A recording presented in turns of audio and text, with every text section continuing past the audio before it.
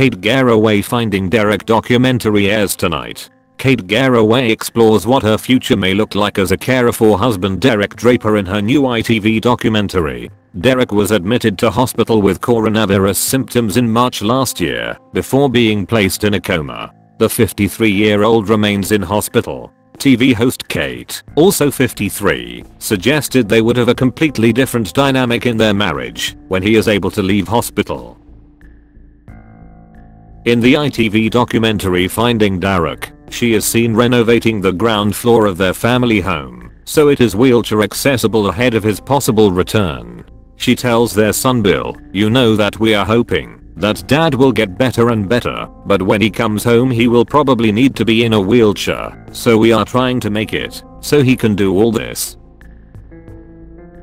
And if I have to give up work, to care for him then it is best to do it now, when I'm earning money. If he needs 24 hour care I will be the primary carer. I have a fear of the reality of that life. It is a completely different dynamic to our relationship. Kate says that Derek's gradual recovery, which has seen him regain the ability to talk, feels like a positive. She adds, the only thing that panics me is that we are on such a roller coaster with Derek that I'm looking around during all this chaos and then the next minute there will be a phone call to say something has gone backwards. The documentary details their family's experience during his illness and sees Kate speak to people suffering long COVID, NHS staff and other experts. One scene sees her recall being told by Draper's doctors that he was the most seriously ill person they had seen who remained alive.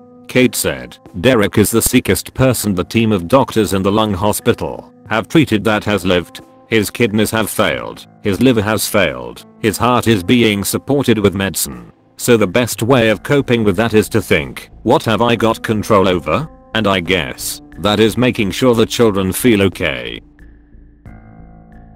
Elsewhere in the program, Sir Elton John supports Kate over the phone, telling her, I pray for him every night, in my prayers, and you and your family. He is an amazing man. Please give him my love when you talk to him next time.